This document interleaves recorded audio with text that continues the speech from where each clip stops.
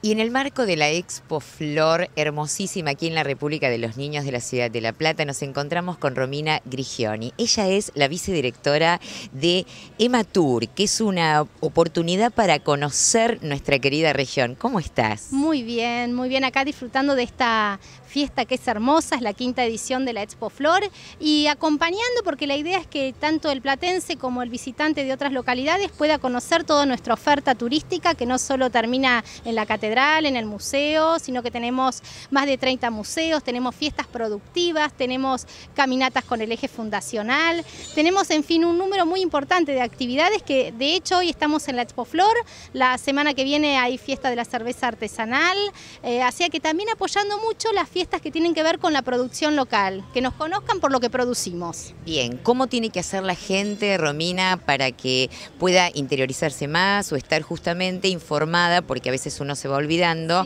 de mes a mes qué es lo que va a suceder en nuestra región. Bueno, nosotros tenemos un mail que es ematur.laplata.gov.ar o en la página de internet que es www laplata.gov.ar y ahí pueden este, tener información en el mail enviándonos eh, su interés por acceder a la información y en la página, bueno, que es la página del municipio, están todas las actividades que se desarrollan. Bueno, todo el éxito, que se sigan divulgando todas estas fiestas y posibilidades que ofrece una región tan rica y tan linda como es la ciudad de La Plata, Berizo, Ensenada, bueno, en fin, todo lo que rodea porque también los vamos a incluir como para que cada vez este pedacito de Buenos Aires se conozca un poquitito más. Así es. Bueno, los esperamos en la Expo Flor y en los eventos que, que suceden hasta fin de año. Muchas gracias. Un beso.